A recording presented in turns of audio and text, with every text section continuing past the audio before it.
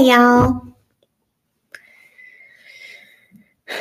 Sometimes I feel like my mom when I say things like that.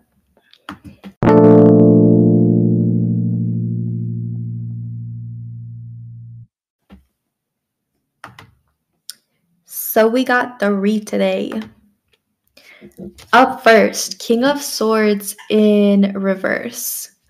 Let's see. Um, it represents quiet power, calling your attention to fixed attitudes or opinions that need questioning. Okay, so we're moving in our quiet power and we are keeping an open mind about our observations and our behaviors and our actions and other people's behaviors and their actions. And Oh, thank you. The next card is Ace of Wands in reverse. Um, trials and tribulations that you will face in the near future. You can sense an idea emerging from within, but are uncertain what form it will take or how you will manifest it. Delays, setbacks, and disappointing news. Okay, okay, okay. Oh, thank you. So the last card is the Page of Wands. And let's see. You can feel the stirrings of something new emerging within you, but you don't know how to turn it into action. Someone adventurous and lively who falls in love quickly but may also get bored quickly. Represents bad or delayed news and setbacks. Represents initiative, ambition, drive, and desire the freedom to do what you love and what you want. A free spirit who carries infectious enthusiasm into your situation. A person in good attire. okay, okay, love it. Oh, thank you. Oh, thank you. I'm going to explain to you the coin that birthed this episode. So, I was at this little bookstore downtown, and I can't remember how long ago, but it was relatively recent, definitely like before I started the pod. Um, my sister was there, and I probably was only there to get incense and other supplies. And while I was waiting for her to check out or something, I was struck by this beautiful sculpture. I did not recognize her, but I also like couldn't look away. Um, and I felt this like certain sort of magnetic or energetic pull to her. So I asked um, the lady working in the shop if she knew who this captivating woman was. And she looked it up on Google and wrote it down for me. And on the drive home, I just remember um, my sister and I could feel like this beautifully overwhelming energy of love and freedom. So she's here now, and we've been vibing for like a couple months now at least. Um, yeah, so after I finished my Tesla series, I felt this bittersweet void like feeling. Um, and I knew my next subject was on the way, and I was excited to meet it and watch it unfold. Um, and honestly, I wasn't feeling like my best that morning, but despite that, I decided to get ready and go out into the world. Um, obviously, I had to cleanse. I had to cleanse myself and my rocks, and I had to set my intentions before leaving my sacred space. Um, and as I was cleansing, I thought about that little statue and I oh, if I didn't say this already, it's Nefertiti. Um but okay, so I was cleansing and I thought about her and I was like cuz by this point I felt like we were already like connecting um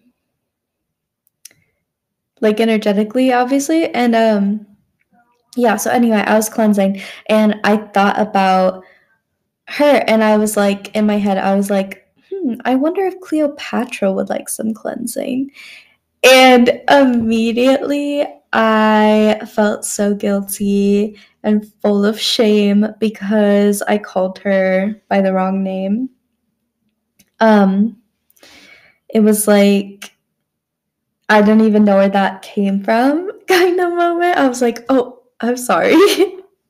um, but I felt her energy kind of like laugh it off um, in a both stern and like nurturing sort of way. And I let it go into the clouds.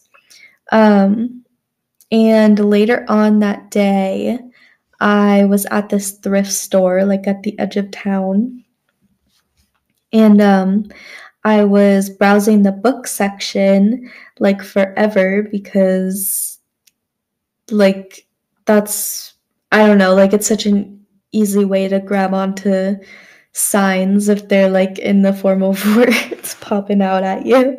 So, um, yeah, so I was like, not really finding anything though. And I was about to leave and I looked up like at the bookshelf in front of me and I saw this book titled Nefertiti and Cleopatra. so now we're here. And this might be the start of some sort of series because I'm like so interested in this. And I would love to learn more about um honestly just like so many aspects of this story. Um because there's like obviously it was like 3000 years ago or something like a long ass time ago. So we don't have um like we don't know everything. Like there's a lot of mystery here and i'm so interested in it. Um so yeah might start some kind of a series. So let me know how this inspires you and what you want to hear next through email at vanna's voice podcast at gmail.com but let's get into it.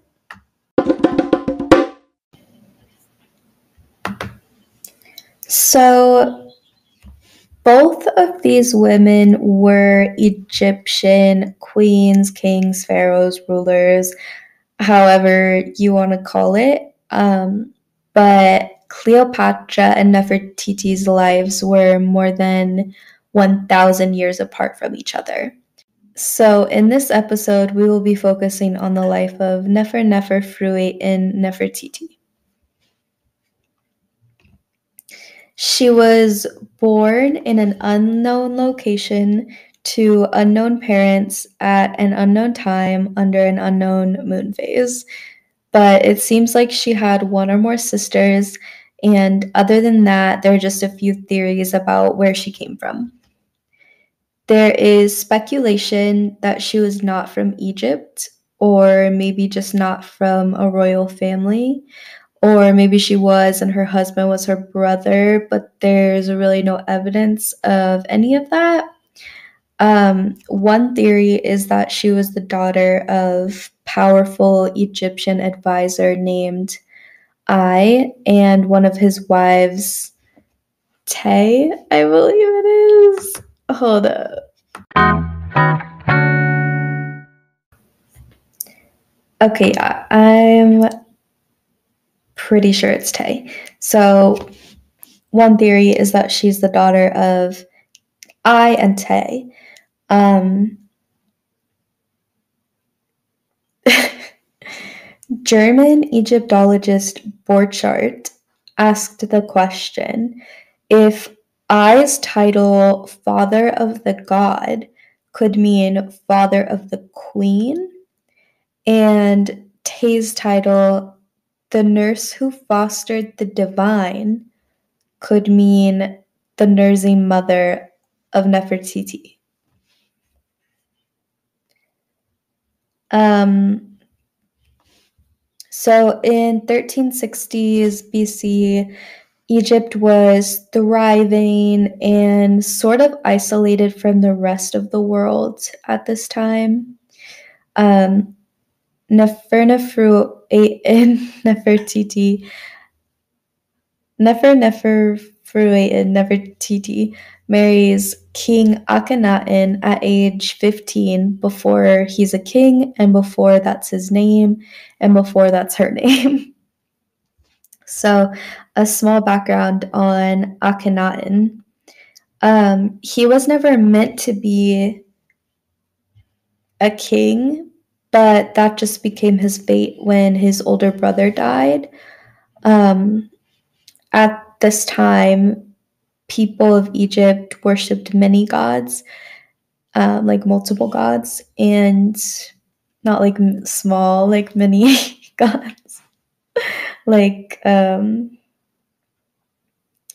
like they just were worshiping lots of gods. Um, and that was like one aspect to the way that his brother ruled. Um, so after Akhenaten became king, he inherited the throne, or I don't know how it works, but he became king. And after that happened, it kind of came out that he only worships one god, the sun god. Um, and then he made that an aspect of like the way that he ruled. So this was different for Egypt because this god was not anthropomorphic like most of the other Egyptian gods and goddesses that they were used to worshiping. Um, Aten what that's the god, the sun god, uh, was represented as the sun disk. So basically, it's like they're used to worshiping a bunch of gods, and all of these gods that they worship have like human characteristics to some extent. Um, and the sun god doesn't. It's literally just like the sun. So it's different for them. Um so anyway, it seems like um Nefertiti and Akhenaten were fond of each other because this soon escalates to like an ancient Egyptian power couple situation. Um, they move to a different city, changing the capital of Egypt during their reign. And they also established this new way of practicing religion and rule together. Nefertiti is the only Egyptian queen at this point to rule with her husband. Um, and this period of time is known today as the Amarna period. So Akhenaten maybe probably had multiple wives. Obviously, things were a little bit different then, but they must have been intimate because she ends up having six daughters. In the fourth year of Akhenaten's reign, he moves the city to a new city, and he says that like the Aten helped him to discover this location, and it was like virgin land, like it hadn't been dedicated to any of the other gods. So it was really just like perfect for them, and it was um like um like there was like a half circle of like hills hills or like rocks or something around it and then um they were also like right next to the Nile. So it was just perfect location. Um and yeah, so he moved the city to a new city and he calls it Akhetaten, meaning the horizon of the Aten. Um, and it's located between the ancient Egyptian cities of Thebes and Memphis on the east bank of the Nile. So now, commonly, people really just refer to this um, city as Amarna. Um, so the queen at this point had three daughters and possibly another on the way when she traveled 200 miles down the Nile to see her new home. By the time she arrived, it was stunning, and there were countless scenes of their lives together being carved on monuments everywhere. I feel like this is the equivalent to like when he buys you a house. um in art history this is when naturalism begins and this royal couple probably played a huge role in the development of it. It's said that they freed artists from the cage of perfection and that allowed artwork to come alive. This is kind of when movement is introduced into art. They're depicted they're depicted as being warm and affectionate with their children and they're shown doing more casual royal life things. This never happens again in Egyptian history. Um, but period Amarna artwork shows bodies in a more natural, healthy, fertile way. They're shown having bellies and wrinkles and wider hips and thighs with slim calves and elongated faces and feet. They kind of look like really pretty aliens. Um, it is kind of a little bit strange though, because as the pharaoh, Akhenaten would have had complete control over the artists and the artwork being produced and distributed. It seems like he was mostly concerned about religious symbolism.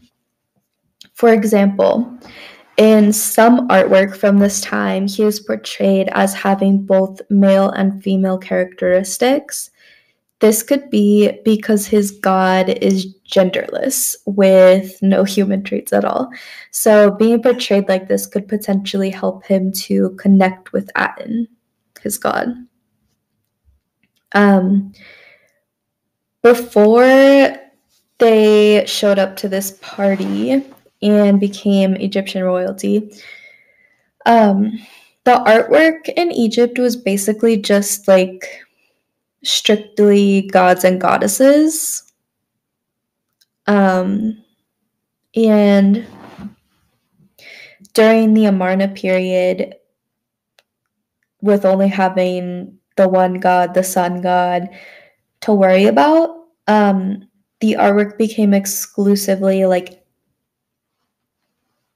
Aten and the royal family. Um, and some people in the city, like in the background occasionally. Akhenaten had content the Aten, Aten, Akhenaten. Nefer Nefer Fru Aten. Nefertiti.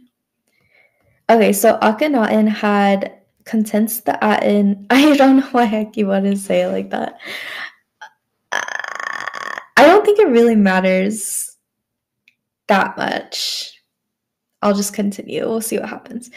Akhenaten had content the Aten with her sweet voice and other nice and loving things about Nefertiti inscribed. Um, all over the place. When she was first discovered, um, in the images and artwork that we've found from this time period, many people thought that she actually was a goddess. Um, but this was ruled out when evidence presented itself that she was married to the king and that they had six daughters together. But the depictions of her next to God are very interesting and definitely giving some goddess energy. Um, she's pictured in equal or almost equal proportions to Akhenaten in just about everything. There are carved scenes of her in a warrior type role, which is, it was common for a king. Um, but like this was, like she did a lot of shit that was like, queens don't usually do that type of thing, you know? Um, she's mostly shown as feminine, except for in this scene. Um, and ultimately, she's just shown as an equal ruler. Um, but the name God is almost constantly reversed to face her, which is interesting. um, so Nefer Neferfruaten, Nefertiti, and Akhenaten officially changed their names during their reign. Akhenaten means in the spirit of the Aten. Nefertiti means a beautiful woman has come, and she added Nefer Neferfruaten, meaning beautiful are the beauties of the Aten.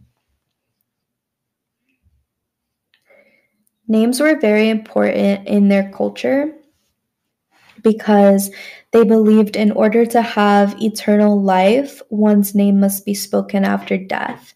So, defamation of their name after death was one of the worst things that could happen. Although she may have gone by different names at different points in her life, the queen is well known today as Nefertiti, but she would never have been called anything but Nefer in Nefertiti in Amarna. So they worship one god, the sun god, Aten. This is kind of like the world's first real organized monotheistic religion, so kind of a big deal. Um, as some of you in the jewelry industry may know, that cross with the circle on top called the Ankh. Um, that symbol is shown back in this time period uh, in artwork as a gift from the sun to the kings and the queens, and it symbolizes the sign of life. So there you go. Um, around the 12th year of Akhenaten's 17 year reign, things start to get a little fuzzy. Um, maybe Nefer Neferfruat and Nefertiti can no longer have children, but she would have recognized that it's crucial for their royal standing at the time to have a son um, sips tea. so this other lady, Kiya, begins giving birth to the king's babes. And one of those babes is King Tut. Um, yeah, so also around this time, there's an international pageant where a bunch of people from different countries come to bring tribute to Egypt, and basically they just give the royal couple a bunch of things and then leave. Um, also, the couple's second daughter, um, I think it's pronounced Meketaten, dies, and it's really sad, and the deep grief this caused is shown in her tomb carvings. Um, after this happens, Nefer, Neferfruat, and Nefertiti is officially named as the co regent beside her husband before his death, making her a second king to Egypt of completely equal power and status. After Akhenaten's death, Nefertiti takes responsibility as his successor. It seems she chose to live in a palace that Akhenaten built for her with three feet thick walls, and she possibly changed her name to Smenkare, um, but nobody really knows why or if that's like 100% accurate. Um, at some point after this, Akhenaten's son, King Tut, uh, marries his half sister and Nefertiti's third daughter, Akhesimpa Aten, and they take over as king and queen. Um, king Tut moves the city back to the city and basically restores the old ways of doing royalty and religion in Egypt.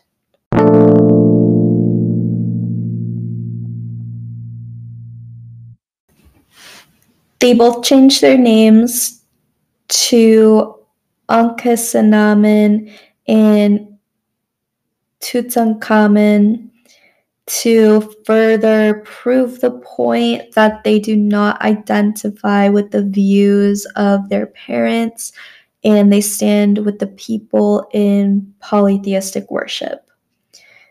Um, apparently, King Tut died before the age of 20 and he left no heirs to the throne. Um, after the age of Amarna, we have no records of Nefertiti. Akhenaten became known as the heretic king for trying to establish monotheism. Um, and everyone moves on and forgets about this iconic 15 minutes in history until many years later, the bust of Nefertiti is discovered by the German Oriental Society in 1912. Um, this happens during an excavation at Amarna. Um, immediately, Hitler is like, wow, I like that. Like, he's real proud of it. Um, and despite one of his peers telling him that they should return it as a political gesture, he says, I will never relinquish the queen.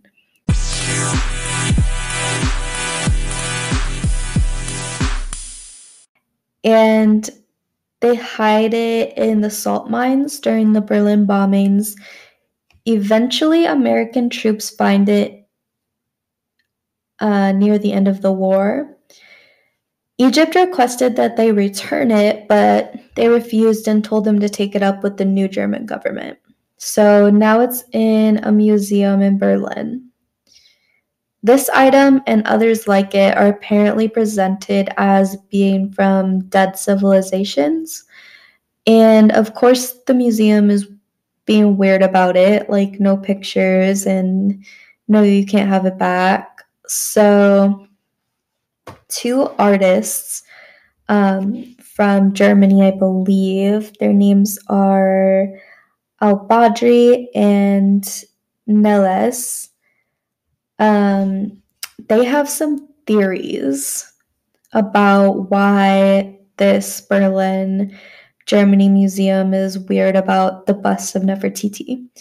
Um, one, they make so much money from like the tourism and the exclusivity of it all. Two, if you have an item, you also have the privilege of telling the story behind it, and the story that they tell is fictionalized to some extent, as is any interpretation. Um, so these two artists, um, they decided to secretly 3D scan this bust in this museum with an Xbox scanner and they released the files to the public for free. Um, it was like top secret activity.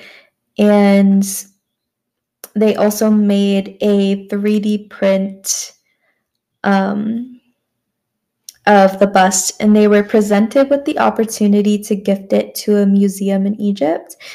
But they thought about it for a minute and they decided it's not the right move. So they stuck with their original plan and buried it in the Egyptian desert in attempt to reunite it and reconcile how it was discovered in an excavation, which is kind of a more Western practice. Um, so maybe it'll be found one day and maybe it won't, but that's not the point.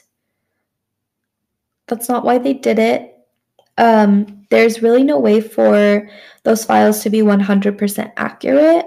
Um, but their main goal here was to open the conversation to a wider variety of people. It was like a scandal with purpose.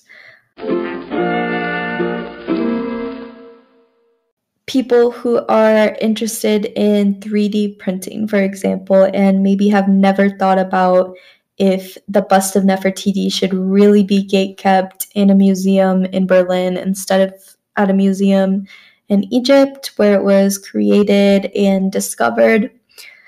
Um, they just want to make it possible to tell new stories about it, and props to them because here we are. So, the location of Nefertiti's tomb is one of the biggest mysteries in Egyptian archaeology. Finding the queen's tomb will be the most significant discovery since they found King Tut in 1922. Um, but tomb raiding and robbing has been a problem for a very long time, and back then it was the responsibility of the priests to protect the mummies of kings and queens so it's possible that their bodies were moved because that was one way that they could attempt to protect them. Um, so, yeah, as always, I do not have a way to close my episodes yet. but it was really nice talking to you today, and I hope that you are surviving this retrograde. By the time you're hearing this, it's either over or very close to over. So, love you.